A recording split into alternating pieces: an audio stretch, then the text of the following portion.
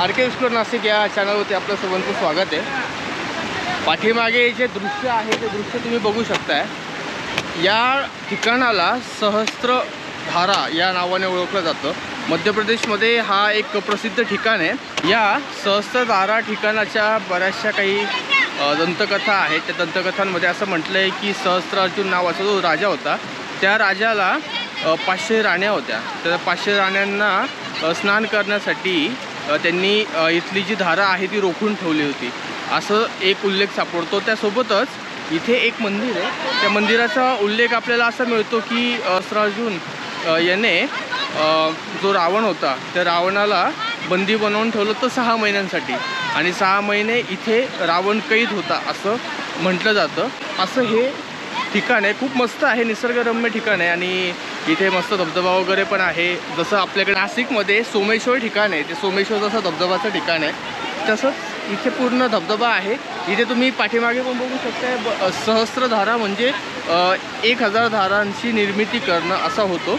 आणि प्रत्येक म्हणजे प्रत्येक दगडांमधून रस्ता काढून देण्याचं जे काम आहे ते सहस्त्रधारामध्ये येतं.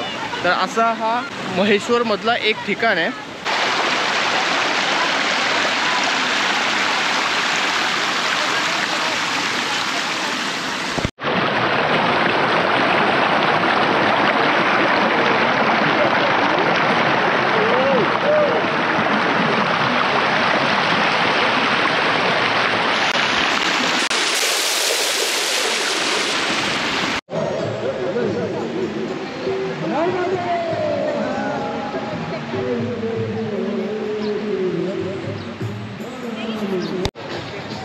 तर हे असं होतं सहस्त्रधारा नावाचं ठिकाण आणि या ठिकाणाला महेश्वर त्यासोबतच मध्य प्रदेशमध्ये खूप महत्त्व आहे.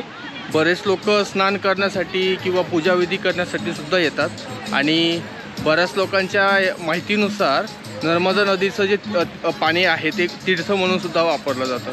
त्यामुळे आणि अजून सोबत एक असं की ज्या वेळेला आपण नर्मदा परिक्रमा करतो तर नर्मदा परिक्रमा करत असताना हा जो रस्ता आहे या रस्त्या मार्गानेच पूर्ण परिक्रमा करता येते.